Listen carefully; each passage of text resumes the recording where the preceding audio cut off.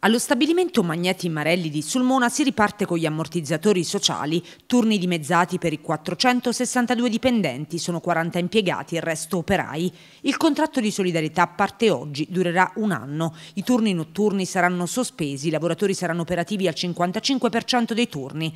La situazione però preoccupa non poco i sindacati perché i volumi produttivi si sono abbassati e le ripercussioni lavorative sono inevitabili.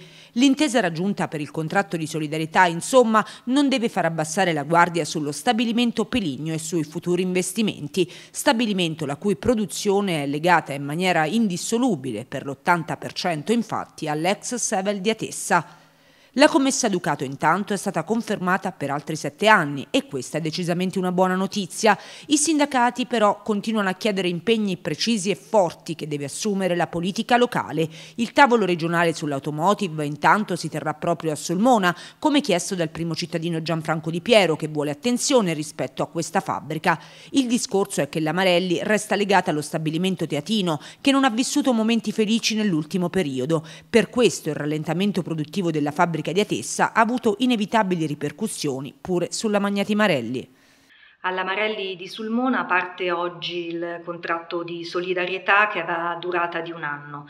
È l'ennesimo ricorso agli ammortizzatori sociali e eh, questo chiaramente non eh, ci lascia tranquilli per quanto riguarda il futuro di quello stabilimento, il quale può contare su eh, un unico cliente che è la Sevel di Atessa e che vede mancare investimenti importanti che sarebbero necessari in considerazione dell'età che ha ormai quello stabilimento stabilimento, ecco questa mancanza eh, purtroppo di investimenti c'è già da molto tempo.